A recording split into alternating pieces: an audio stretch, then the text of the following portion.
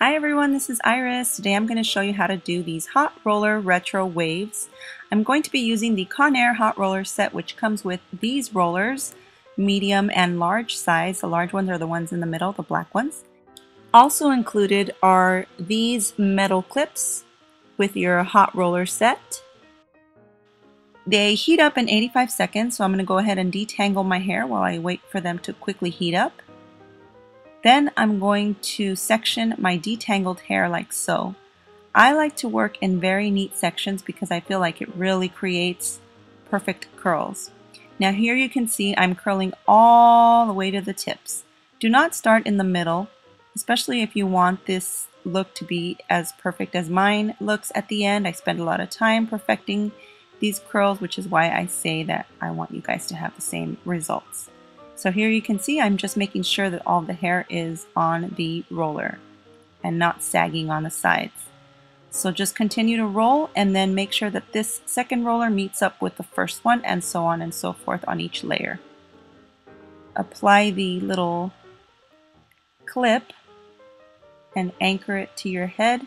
Here at the top I'm going to be creating four sections just because I have a lot of hair and I'm starting off with the two sections in the front. I'm just going to divide this large section into two. It's going to depend on how thick your hair is.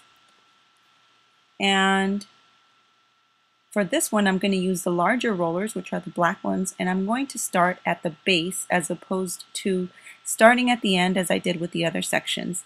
And the reason why I'm doing this is because I'm creating volume and lift right at the top of my hair, and you will see at the end of the video why I ended up doing it this way. Now here you can see that there will be a problem of the ends sticking out, so just make sure that you kind of tuck them under the rest of the hair and then put your clip in right at that area and that will hold your ends in place. So I went ahead and did that for the other four sections on top of my hair, making sure that all of the hair was on the hot rollers and not sagging on the sides. Then I went ahead and applied my rollers all over the rest of my hair. The hair is set within uh, less than 10 minutes, so you can go ahead and do your makeup, you can get dressed or send texts, whatever you want to do while you wait. It really isn't very long, but you get to do something while you wait. Then you're going to go ahead and remove your rollers very, very gently. Try not to pull or tug on it because then you're going to create a stretched curl. And the key to making this look come together is to use um, your fingers to style your hair as opposed to brushing it through. I'm also using some serum and just applying it very, very gently on my hair, making sure that I'm using a lightweight one so it doesn't weigh my hair down, and then just finger combing it through.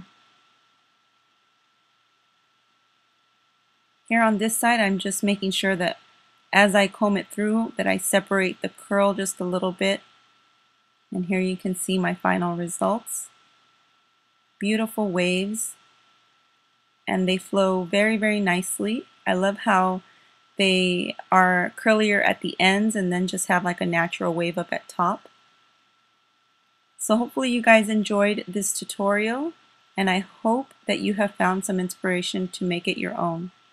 Now I am giving away these hot rollers, so to enter for a chance to win, go to the description bar below to see the details. The giveaway ends very, very soon, so hurry and join. Thank you for watching.